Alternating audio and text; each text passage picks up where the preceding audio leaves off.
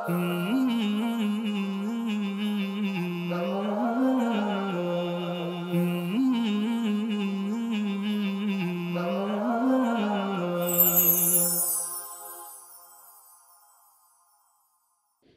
الله الرحمن الرحيم.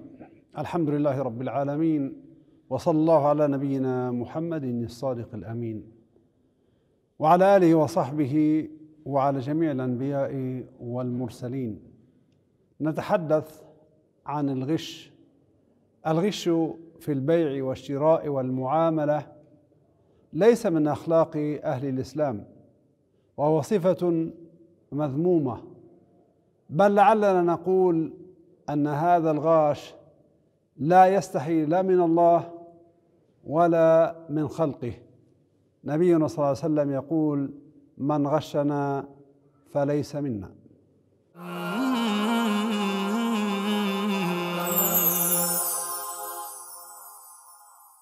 اذا قول المصطفى صلى الله عليه وسلم من غشنا فليس منا. أي ليس على منهاجنا ليس على سنتنا ليس على طريقتنا. هو هذا المقصود.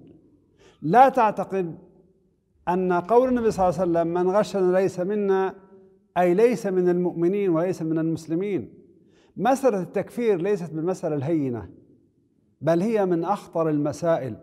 لا يجوز أن نطلق الكفر على مسلم لم يعلن الكفر ولم ينكر شيء معلوم من الدين بالضرورة أو يستبيح حراما.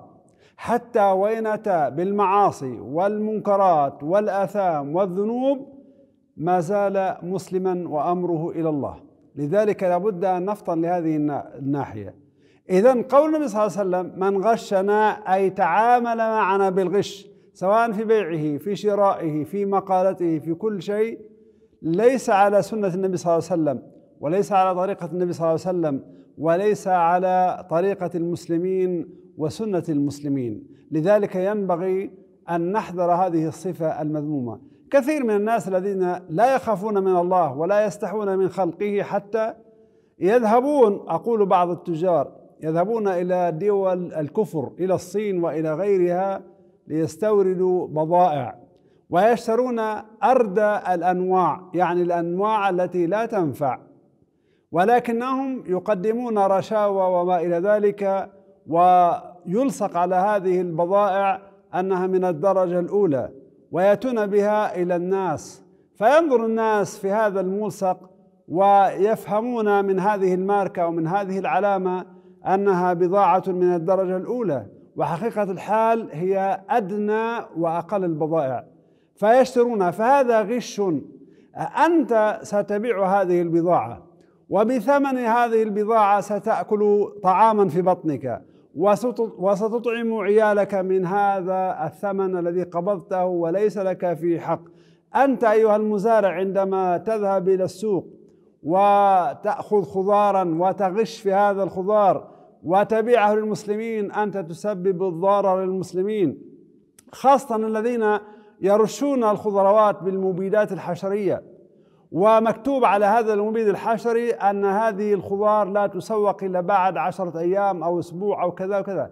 لكن يرشها اليوم وفي اليوم الثاني ينقلها إلى السوق يبيعها إلى المسلمين. قد يسبب هذا المبيد الحشري سرطان ويسبب أمراض. أنت تتحمل هذا الوزر. أنت تحاسب على هذا الغش واستمع إلى قول النبي صلى الله عليه وسلم من غشنا فليس منا.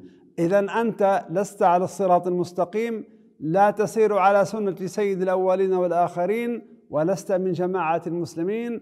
لا نكفرك ولكننا نقول لك أن الرزق يأتيك من عند الله. فاطلب رزقك بالحلال واطلب رزقك بالصدق واطلب رزقك بما أمر الله لك أن تطلبه به لا أن تطلبه بالطرق المعوجة وبالغش وأن تتحايل على الناس لكي تملأ جيبك حتى وإن كان من حرام. فهذه الدنيا إلى زوال وحطام الدنيا إلى نهاية وكلنا إلى نهاية ونرحى من هذه الدنيا ولن نأخذ معنا لا مال ولا عيال إنما سنرحل بالأعمال فإن كانت صالحة فلنا وإن كانت سيئة فعلينا ونسأل الله السلامة والسلام عليكم ورحمة الله وبركاته.